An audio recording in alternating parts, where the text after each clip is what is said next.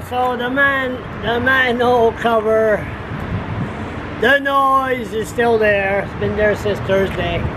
Um, just by chance, as you've been following my videos, I seen the local consular just came around the corner. I said, can you fix that manhole cover?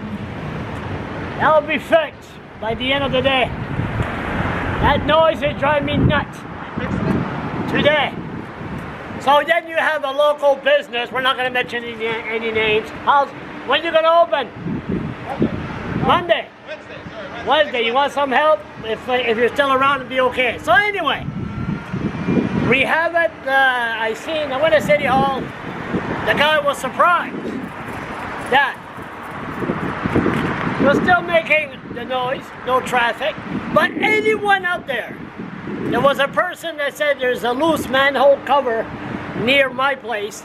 So if you have a manhole cover and you want it fixed, stopping this goddamn noise, phone six uh, four six zero 2020 and they will fix the goddamn racket. Stay tuned till the end of the day, see if they fix it.